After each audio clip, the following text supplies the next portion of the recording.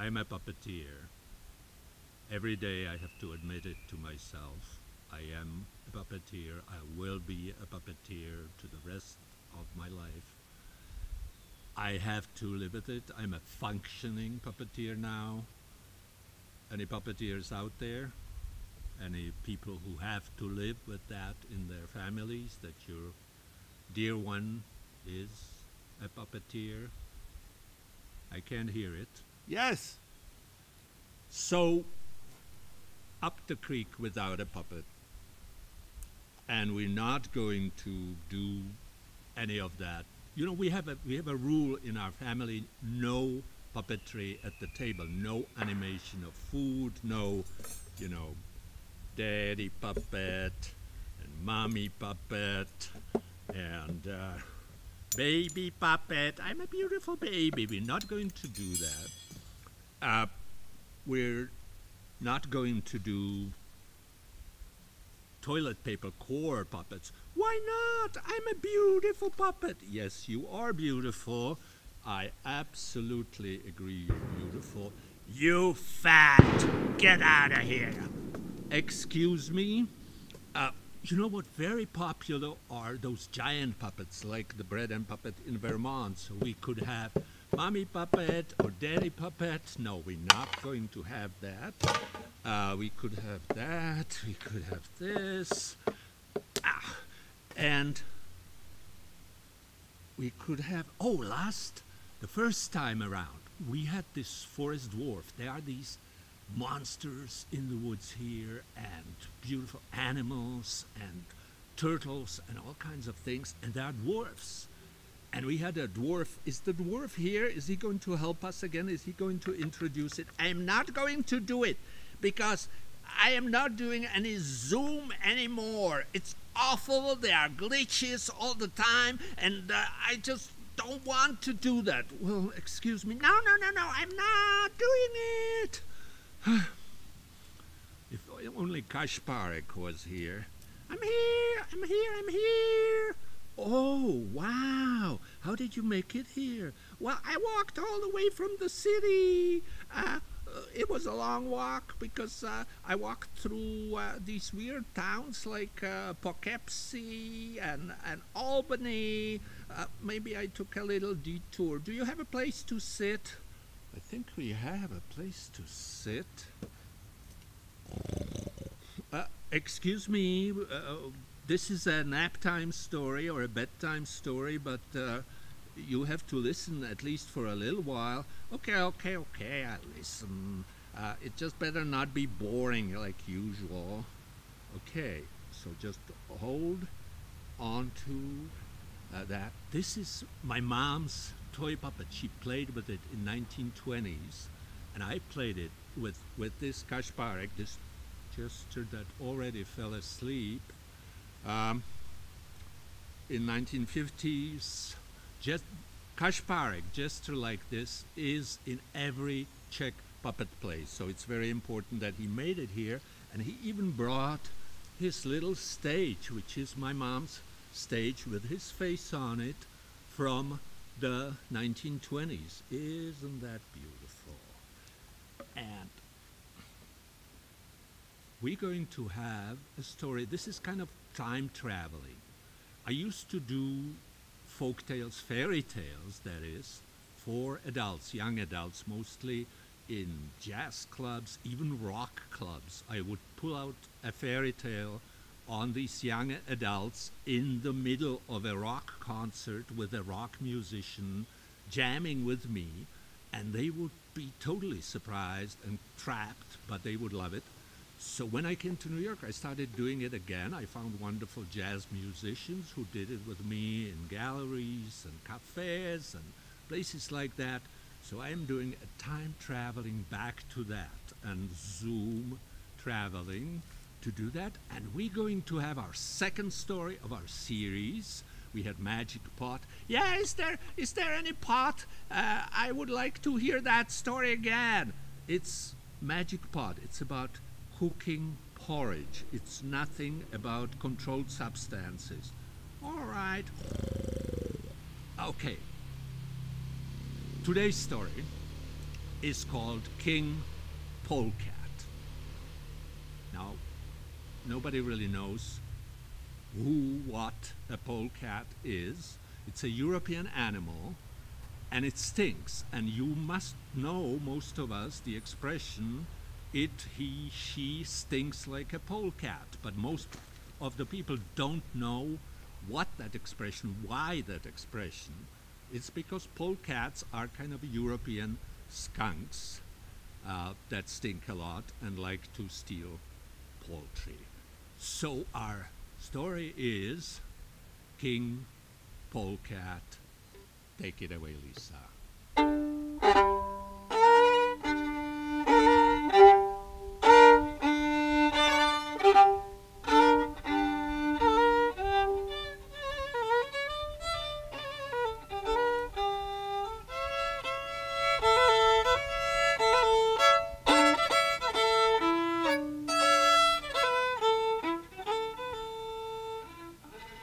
Was a time, but it is long gone, when chickens led carefree lives in the comfort of their own manure heaps.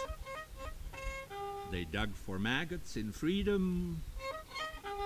The hens could eat any worm they found.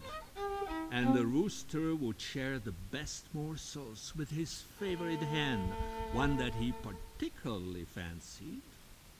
If a hen wasn't happy, he'd comb her with his beak, and that was that. When the oldest rooster crowed in the morning, all the other roosters in the village would join in, and the day could begin.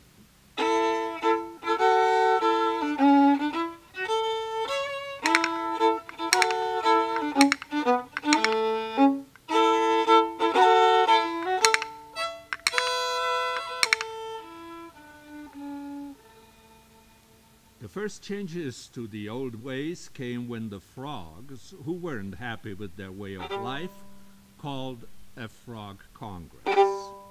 They croaked and croaked for nights and days until they croaked up the stork, stork as their king.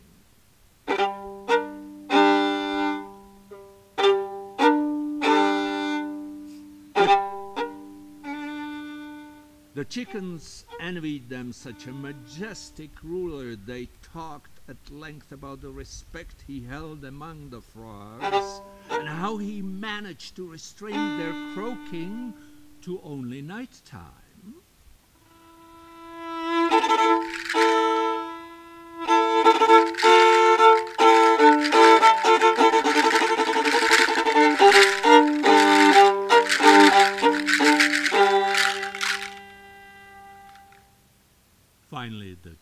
Chickens called their own congress, where they all agreed to have a king, too. They celebrated their unity for a week before they proceeded with the selection. But, ouch.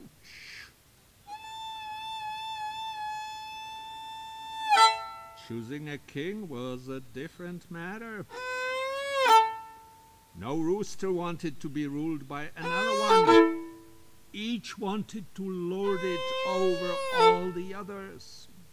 Soon the roosters were vigorously pecking each other.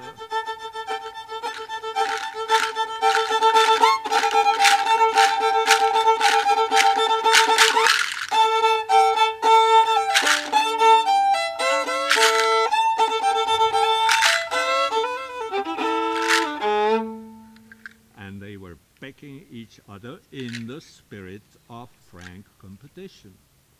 And when the hens brought up the idea that one of them should be a sovereign queen, a once for all erupted.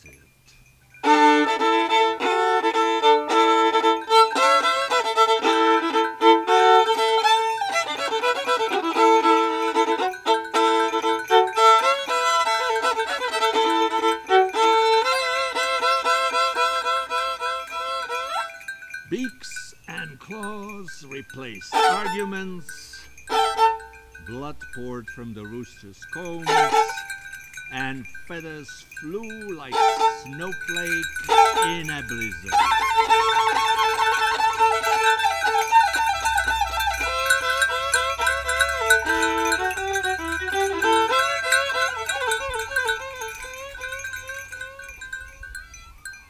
The chicken kind would have perished altogether if it weren't for a wise old rooster who came up with a magnificent idea.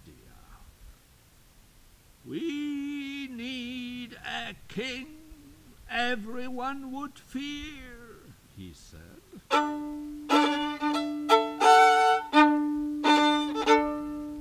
And there is no better candidate than a p- p- p- polecat.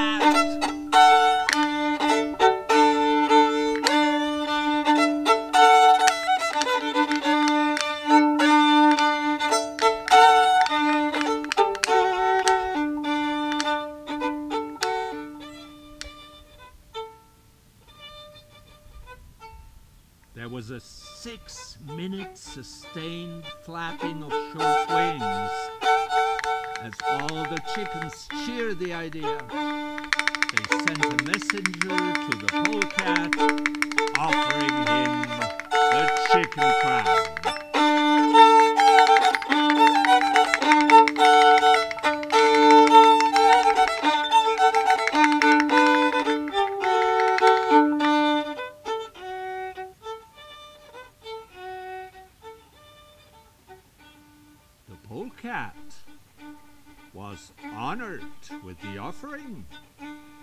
He made a long speech about the long standing friendly relations between his kin and chickens.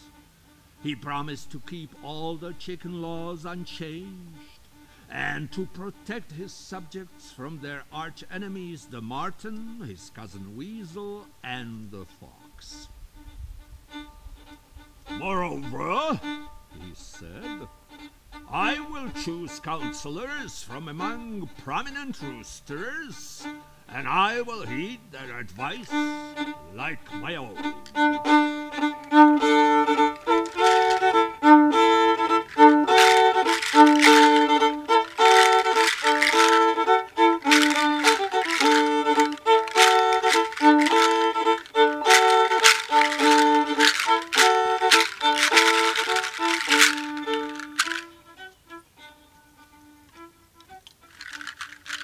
There was a magnificent coronation ceremony as the polecat sat down on the luminous white throne as the first chicken king.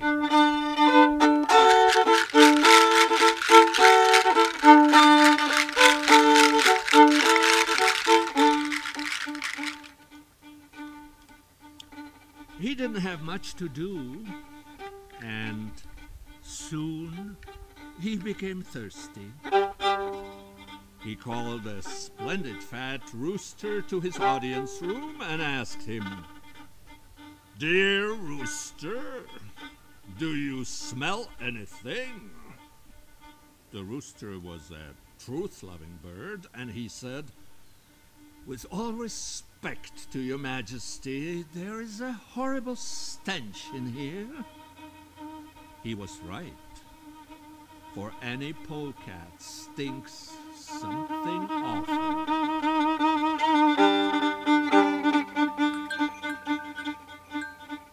But the king cried out, Ha! Traitor! You have committed the most repellent crime by offending our royal person. You deserve to die.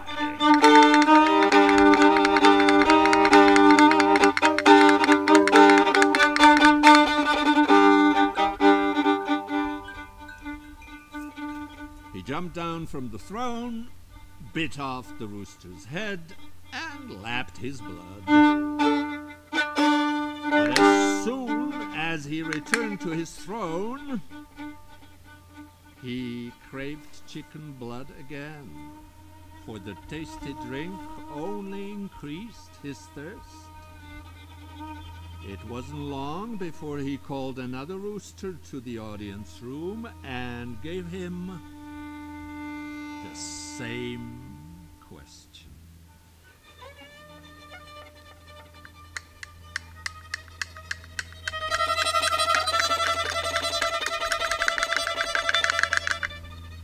The rooster noticed the blood stains on the royal whiskers. His eyes dashed around the royal chamber in panic until they fell on the headless body of his predecessor, tossed carelessly aside. He started shivering. Goosebumps sprung all over his body, and his feathers rose in horror.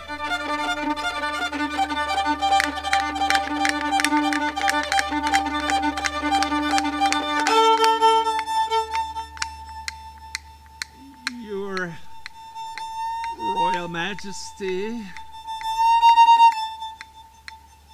He finally squeezed out of his bill. I smell the most delicious perfume.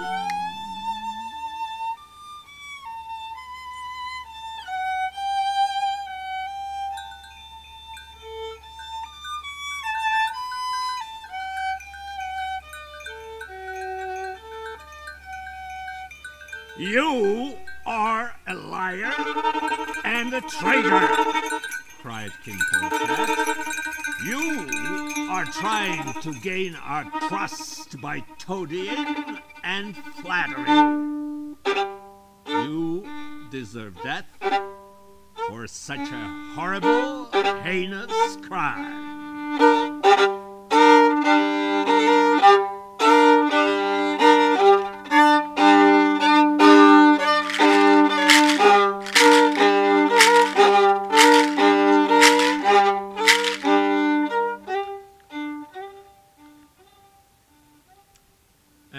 Disposed of him in the same manner as that of his unfortunate predecessor.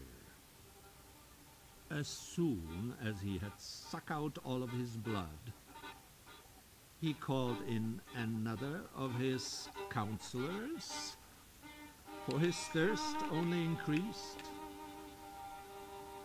Dear and noble rooster, he said, wiping fresh blood from of his lips. Do you smell anything in this room? A glance at his muzzle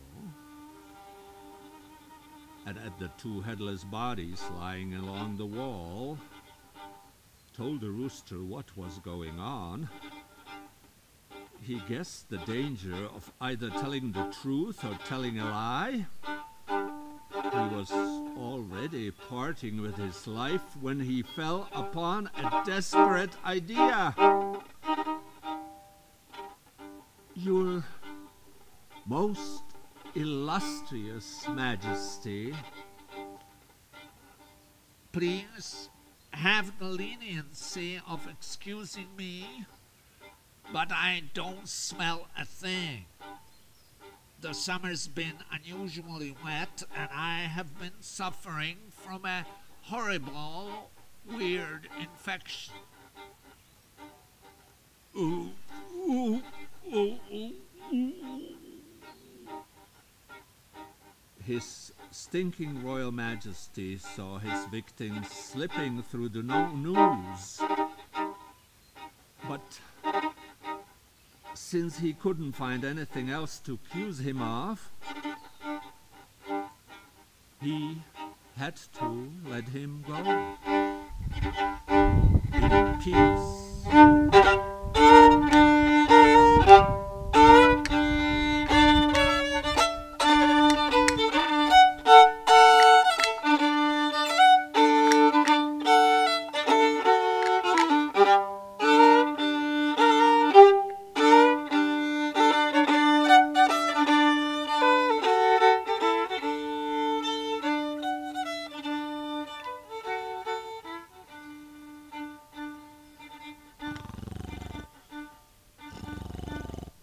Uh, uh, uh, when are you going to start the story? Excuse me, I just finished the story. Oh? Yes, and we should thank the audience for coming. Oh, thank you for coming, and I hope you will come again, and I hope there will be another story, and I hope I will hear it. Thank you. Bye.